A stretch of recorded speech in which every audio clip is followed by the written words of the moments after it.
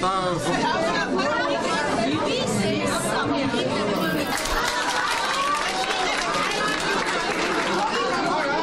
ხმაური და დაპირისპირება რესპუბლიკურ კლინიკაში მას შემდეგ დაიწყო, რაც კლინიკის შესასვლელში შეკრებილი ექიმებისთვის ნობილი გახდა, რომ ორშაბათის ტრადიციულ თათბირზე კლინიკის ხელმძღვანელი ზაზა ავალიანი არ გამოცხადდებოდა.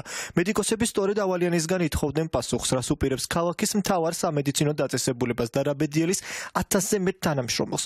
ბოლო რამდენიმე თვეა ისევ აქტიურად მიმდინარეობს ყველაზე დიდი კლინიკის დაანგრევის საკითხზე მსჯელობა.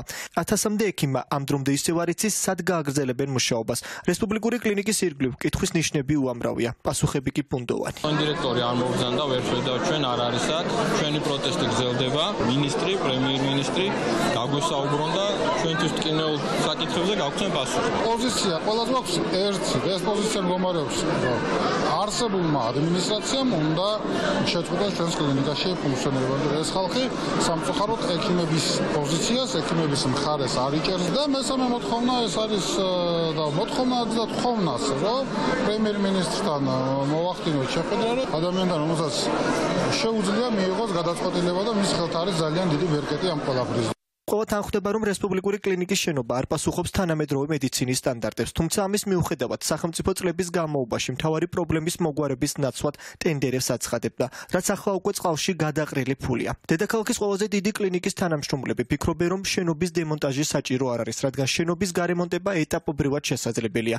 მედიკოსების მტკიცებით ახალი რეაბილიტირებულია პედიატრიული და თერაპიული განყოფილება რაც ნიშნავს იმას რომ კლინიკის მთლიანად დაანგრევის ან ახლის აშენების საფუძველი არ არსებობს დასახევი გზა არ აქვს. რჩებით ყველა აი ამაზე ბევრია კიდე აქ ვინც არის უფრო ბევრი არის თანამშრომელი უმშევრები რჩებით. ეს რელიკვია არის. ეს არის საქართველოს სავიზიტო მარადი. მე იცით მე 80 წლიდან მუშაობ აქ. და ამის დაანგრევა, ამის ხელყოფა როგორ შეიძლება? თუ შეიძლება ჩვენი მოგზალებული თხოვნა იქნება, შეგვდეს პრემიერი და დაგველაპარაკოს თანამშრომლებს. რადგანაც პირველი პირია წვიტავს ქვეყნის ბედს, ჩვენ ბედს და რადგანაც არ გვინდა ჩვენ პირიქით ამბობენ რომ არანაირი უმუშევრობა, არანაირი ამ დროს ჩვენ რა ქუჩაში ვრჩებით. მიუხედავად იმისა, რომ თეთრხალათიანები პრემიერ ღარიბაშვილთან და ჯანდაცვის მინისტრთან შეხვედრას რამდენიმე საათის განმავლობაში ითხოვდნენ, როგორც ჩანს, პრემიერ-მინისტრი არაპირებს რესპუბლიკური კლინიკის ექიმებთან შეხვედრას. მეტიც დღეს ქვეყნის პირველმა პირმა იმ ადამიანებს, რომლებიც კოვიდის მართვის დროს წინახაზზე იდგნენ, პროვოკატორები უწოდა. რა გეგმა აქვს ხელისუფლებას? რესპუბლიკურ კლინიკასთან დაკავშირებით სავარაუდოდ დეტალები მომავალ კვირას გახდება ცნობილი, როდესაც ჯანდაცვის მინისტრი კლინიკის ექიმებს შეხვდება. ძალიან ბევრი არასწორი ინფორმაცია ვრცელდება ბოლო დღეების განმავლობაში, მიზანმიმართული ტყუილი ტყუილი პროპაგანდა მიმდინარეობდა, რაც რა თქმა უნდა არის სიცურვე.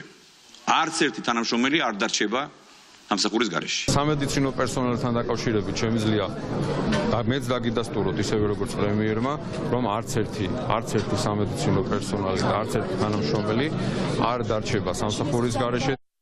რაბედიელის რესპუბლიკურ კლინიკას და 1000-ზე მეტ დასაქმებულ ადამიანს იმ შემთხვევაში თუ ხელისუფლება პროტესტის მიუხედავად კლინიკას მაინც დაანგრევს უცნობია. მედიკოსებმა უკვე შექმნეს საინიციატივო ჯგუფი, რომლებიც თეთრხალათიანების გეგმებს უახლოეს დღეებში გააჟღერებენ.